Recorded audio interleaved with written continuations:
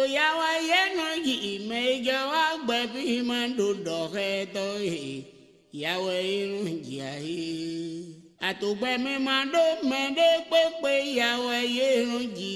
Credo che sicuramente nei due interventi sono già emerse eh, moltissime cose interessanti, ma c'è tutto l'altro aspetto che adesso Sergio praticamente ci ha riportato eh, ad un punto dove la questione della scelta della persona e poi del sistema, eccetera, diventa eh, un momento di nuovo cruciale. Io vorrei ridare la parola a, a Pasquale, partendo proprio da due cose che ieri mh, con diversi venivano sottolineati. No? Alcuni di voi già se ne parlava, ieri ci sono stati dei fatti che al di là delle, de, dei discorsi interessanti con Pasquale, Pascal, eccetera, due momenti che eh, sicuramente hanno interrogato molti, il fatto del, dell'autofinanziamento della comunità, del villaggio per costruire la casa del re, che è una scelta, eh?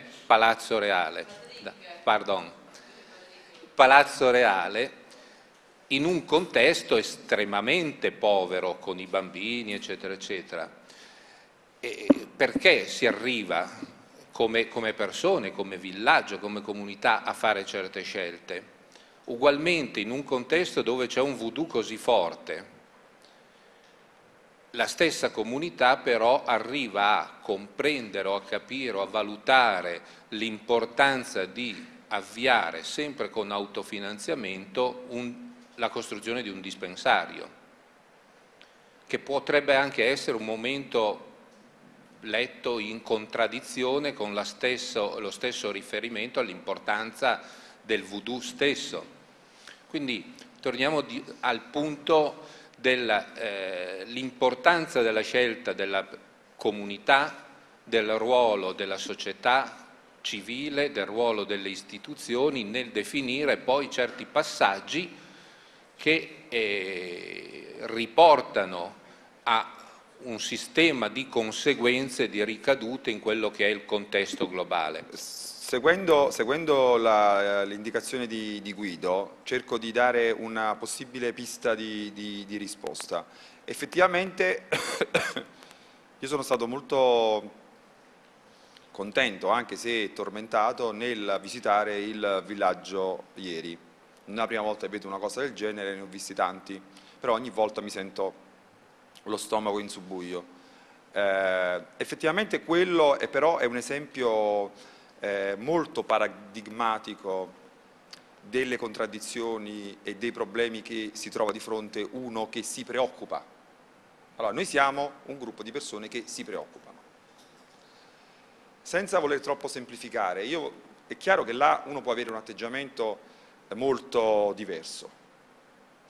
Uno per un atteggiamento effettivamente, eh, se io fossi una, un assoluto relativista, un relativista convinto, dovrei dire che eh, il valore eh, della monarchia locale, il valore del voodoo, eh, la spiritualità di quella gente, la loro serenità eh, e la gioia che li porta diciamo, a condividere questi valori, costituiscono il centro della loro vita e non avrei nessun diritto a criticare il modo in cui loro conducono la loro esistenza.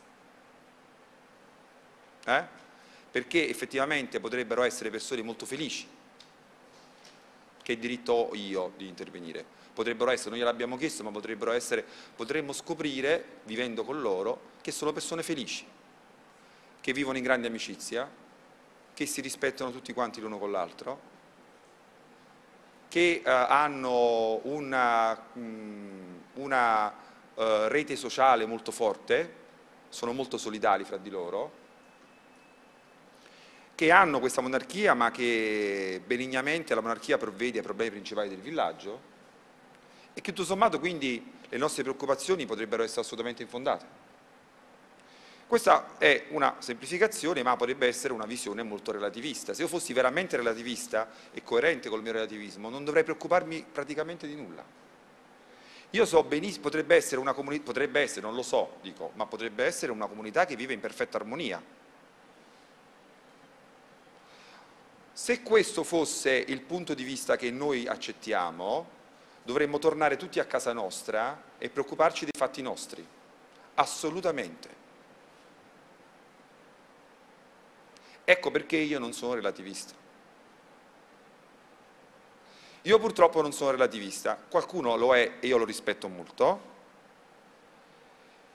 e eh, un punto di vista, naturalmente ci sta il punto di vista estremo, ecco prima di, diciamo, di, presentare il mio, il punto di vista estremo è quello che abbiamo fatto in passato, in passato c'è stata invece una visione, eh, la visione appunto, la vorrei, chiamare la visione della modernizzazione. Noi abbiamo in passato fatto eh, e abbiamo questa responsabilità sulle, sulle spalle, al di là del colonialismo, dell'imperialismo e quindi dei vantaggi che noi abbiamo ottenuto come Occidente nel intervenire, nel creare queste rotture culturali ed economiche all'interno di queste comunità, credo che abbiamo comunque lavorato con una mentalità appunto della modernizzazione, noi portiamo la modernità, andiamo lì nel villaggio e con i nostri standard tecnologici e culturali eh, riportiamo diciamo, il, la comunità su un sentiero di modernizzazione. Va bene? Ora ovviamente è inutile stare a criticare questo approccio che abbiamo, che abbiamo eh, conosciuto in passato perché qua tutti quanti come condividiamo la preoccupazione, condividiamo la critica per questo tipo di intervento violento, prevaricatore e fallimentare. Quindi non c'è bisogno adesso che vi racconti io i danni della modernità, della modernizzazione e di tutti i suoi corollari. Però Ecco, come dicevo Scilla e Cariddi, io credo che stiamo navigando in uno stretto braccio di mare compreso fra questi due mostri per me. La modernità come paradigma, la tecnica, perché poi volevo anche rispondere a Nevio, la tecnica come soluzione, perché io non vedo la tecnica come soluzione, e dall'altra parte il relativismo che ci condurrebbe a tornare a casa, ci condurrebbe a tornare a casa le ragazze là da, da Candido dovrebbero andare via, per esempio, se io fossi... Perché loro hanno partorito per millenni senza le ostetriche, per millenni i bambini sono nati così. Che problema c'è? Perché mai dovremmo andare noi a insegnargli come si partorisce o aiutare a partorire, quando per millenno vanno nella foresta e partoriscono? Perché? Che problema c'è? Allora, qual è diciamo, la difficoltà? Quindi oggettivamente io mi trovo in difficoltà, ammetto di essere in difficoltà perché queste due visioni purtroppo sono ormai le due prevalenti, perché c'è il pensiero unico della modernità, ma purtroppo io mi confronto tutti i giorni con un'espansione forte del relativismo e io sono preoccupato altrettanto che della modernizzazione. Mi fa paura sia il relativismo che il paradigma della modernizzazione. Io che cosa farei in una condizione del genere? È veramente molto difficile, però appunto io credo che eh, io credo appunto, questo già l'ho detto, riprendo appunto le cose che dicevo eh, lunedì, credo che ci sia, eh, che bisogna eh, evitare di cadere eh, nelle due, nelle due situazioni estreme. Credo che ci sia una componente relativa di rispetto delle differenze culturali, una componente di relatività eh, necessaria per il rispetto, eh, per, uh, per uh, le differenze e ci sia allo stesso tempo, e anche per la sovranità, perché pensiamo alla questione della sovranità, cioè la popolazione è sovrana nello scegliere il tipo di vita che vuole condurre. Abbiamo parlato l'altra volta del tipo di vita che uno conduce, ma io sono sovrano nel dover decidere che tipo di vita voglio condurre e questo deve essere sempre rispettato. Allo stesso tempo però io credo che ci siano delle componenti che non chiamerei assolute perché non mi piace come termine, però delle componenti che invece mi piace chiamare universali e mi piace chiamare umane, nel senso che credo che ci siano delle componenti del tipo di vita che ognuno conduce che non sono riconducibili a fattori locali e culturali nel senso di comunitari, ma credo che siano riconducibili al nostro essere umani. E vedo in questo invece una componente universale perché credo che tutti gli uomini, in questo ci credo, io credo nella dichiarazione universale dei diritti dell'uomo, credo che in tutti gli uomini, a prescindere dal luogo in cui nascano, che poi uno nasce in un luogo per caso, a prescindere dalla cultura a cui appartengono, perché uno poi appartiene a una cultura per caso, hanno fondamentalmente il diritto a un minimo di diritti, scusate ma gioco di parola, hanno diritto a un minimo di condizioni di vita che a prescindere da qualsiasi altra considerazione debba essere garantito. Da chi deve essere garantito? Questo è un problema, da chi deve essere garantito? E questo è, un, è un, il dibattito sui diritti umani che ci sta, no? Chi è che garantisce che cosa? L'esportazione. Effettivamente questa è un'altra cosa delicata, non voglio adesso affrontarla, però in ogni caso come prima approssimazione mi sento di dire, sulla base di tutta la letteratura che c'è, da chiunque sia in grado di farlo. Io mi sento moralmente, eh, moralmente eh, in, dire, eh, tenuto a occuparmi di sostenere il conseguimento di questo minimo su cui si può discutere quanto è grande questo minimo, laddove sia possibile e laddove io abbia la percezione che ci sia una grave violazione di questo minimo. Eh?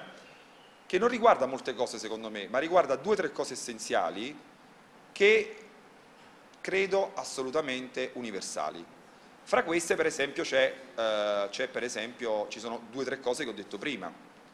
Per esempio si può discutere sui modelli alimentari, sulle differenze, però credo che la malnutrizione, che porta a una vita breve e eh, a molte malattie, credo che un certo livello di salute, anche con medicine tradizionali,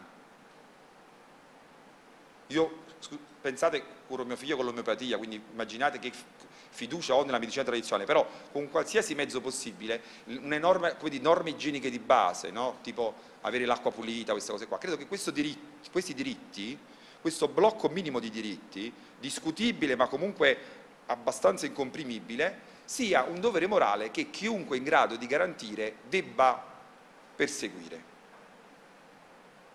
Allora, rispetto a ieri, per esempio, è chiaro che uno poi si deve chiedere che cosa fare, cosa non fare, nel rispetto delle culture.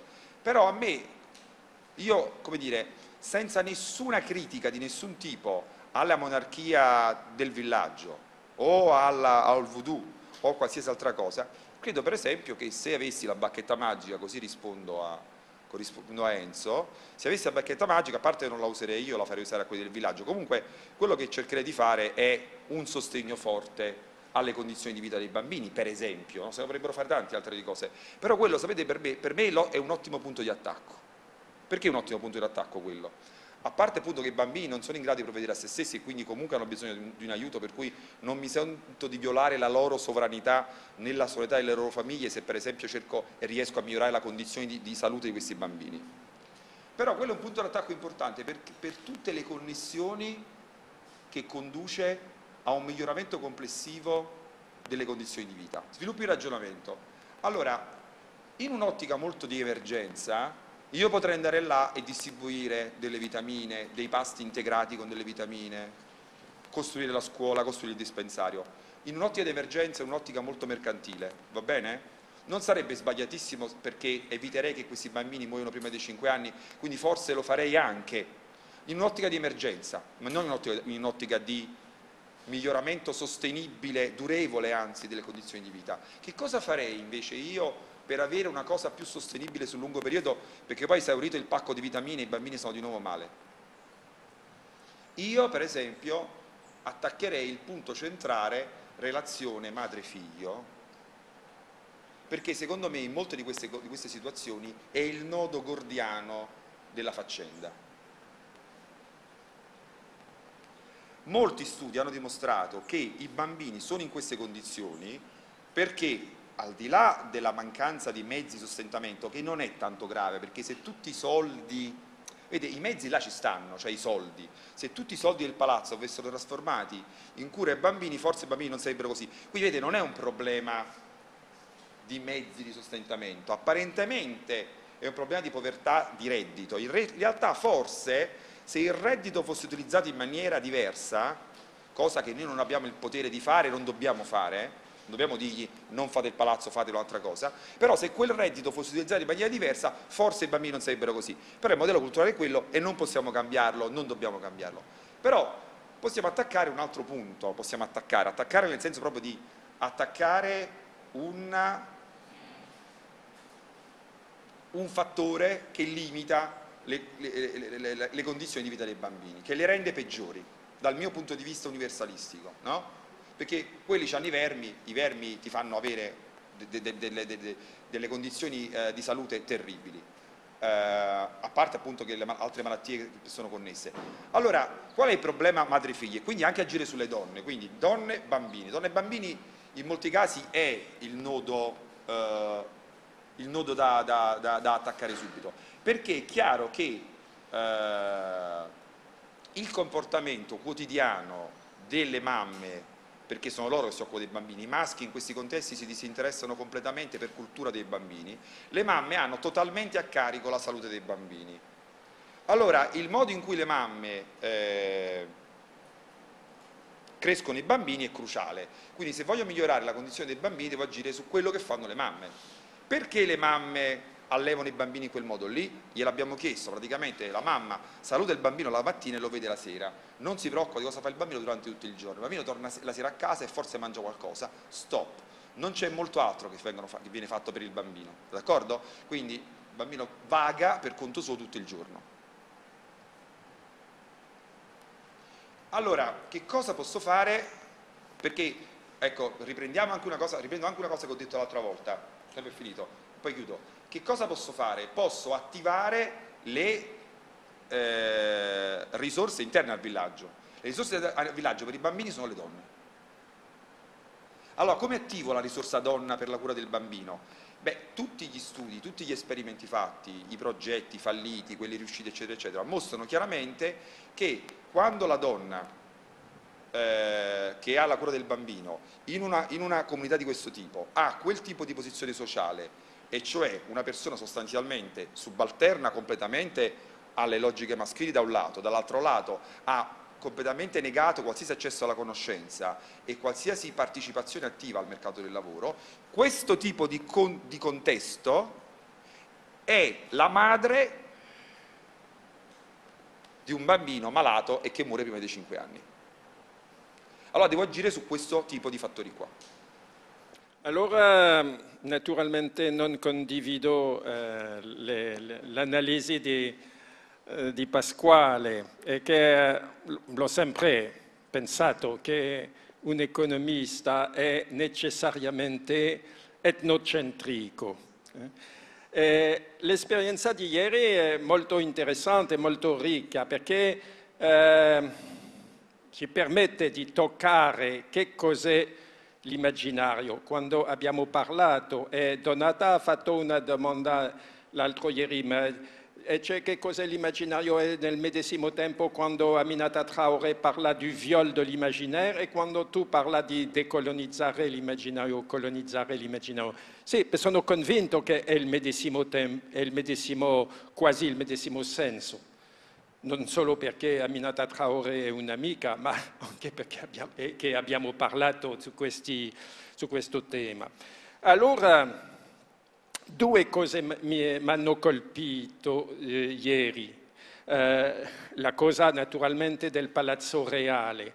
Quando hanno detto, eh, hanno detto avremmo voluto offrire al nostro re un palazzo più bello allora ho pensato che noi italiani nel Medioevo o nel, nel Rinascimento, quando hanno, i sienesi hanno costruito il Duomo, l'hanno trovato troppo piccolo, hanno voluto fare un Duomo gigantesco ancora più bello, avremmo voluto offrire al nostro Dio un palazzo ancora più bello. Non hanno potuto farlo perché non hanno avuto abbastanza soldi, era talmente gigantesco. Ma allora va detto che l'immaginario con quale erav, eravamo colonizzato in questo tempo era quasi il medesimo immaginario che abbiamo incontrato ieri. Eh? Era quasi... Bon. ora abbiamo un altro... E la seconda cosa che mi ha colpito, molto interessante, è il discorso di Patrick. Molto, l'ho molto apprezzato perché per me è la prima volta che davanti ai bianchi un africano riconosce che la cosa più importante ora in Africa è la stregoneria. Questo non si parla, si parla della povertà, dei bisogni essenziali, della miseria, eccetera, eh, e non si parla. Il, il problema numero uno degli africani nei, nelle campagne e nelle città, non solo nelle città, basta leggere i giornali di Douala nel Camerun, il problema che preoccupa la gente 24 ore su 24 ore non è la miseria, non è i bisogni, non è il dispensaire, non è la scuola, è la stregoneria. Allora, se si vuole fare qualcosa, si deve fare come il padre gesuita Eric de Rosny, che si è fatto, lui si è fatto un ganga, féticheur, bon, stregone, si diciamo, che si è fatto iniziare per capire, per aiutare, per fare le cose, per rimediare.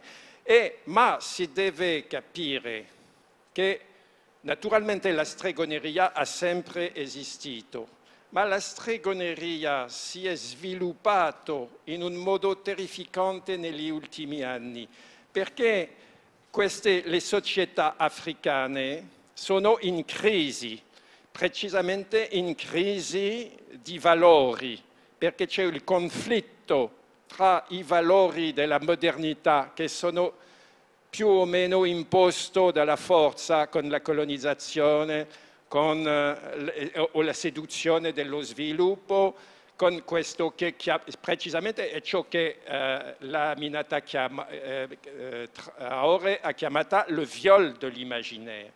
Lei non ha detto che i valori della modernità sono auspicabili perché sono il risultato di un, un imperialismo culturale.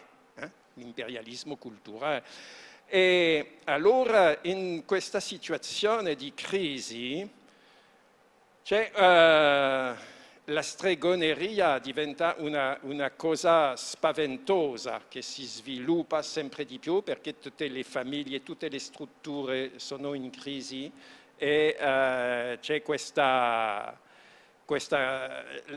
conflitto, il risultato di questo conflitto di valori eh, eh, prende la forma di, uh, di, della stregoneria. E, è interessante che anche qualcuno di occidentalizzato, di molto colto come Patrick ha detto che anche lui non, non eh, bon, deve fare con vivere che di sicuro c'è qualche cosa di... Eh, eh, sì, ma anche questo non è molto Bon, esiste ancora, ancora da noi, eh, c'è un libro bellissimo eh, in Francia che si chiama La stregoneria nel boccaggio, eh, scritto da Jean Favre-Sada, che la stregoneria Boca, nel boccaggio. Nel boccaggio è la zona di, eh, della campagna francese vicino Le Mans, la Mayenne, tra la Normandia e l'Île de France. E lei uh, ha fatto una tesi di dottorato sulla stregoneria, ha studiato cose e alla fine eh, i contadini l'hanno considerato anche lei come eh, eh, capace di lottare contro i stregoni e l'hanno chiesto di, di, di e racconta tutta questa vicenda, come, lega, come questa vicenda è legata alla politica agricola europea, la PAC eh, e com'è la situazione dei contadini in questa situazione di crisi trovano soltanto una, um, una soluzione attraverso la stregoneria. E allora, eh, no, penso che eh, la, la, la, cosa importante, penso che più importante, la prima cosa più importante è capire, prendere coscienza che il nostro modo di pensare, eh, che va bene per noi perché siamo, viviamo in questo immaginario, eh, che, ma prendere coscienza che eh, siamo, il nostro immaginario è il risultato di una forma di colonizzazione, anche che non, è, non, è la, non abbiamo la verità. Eh. la, la verità, la soluzione, che eh, nostra, nostra, nostra, medicina è una forma di voodoo diversa eh, e, eh, bon, con dei risultati molto discutibili. Eh? Cioè, posso ricordare il bel libro di Ivan Illich, Nemesis, e recentemente in Francia il professore di Belpomme che ha fatto questo bel libro, queste malattie eh, generate dall'uomo. Eh? Lui, allora ha chiesto, ma Illich aveva scritto, ha detto, sì, sono d'accordissimo con ciò che ha detto Illich, diciamo al 90%.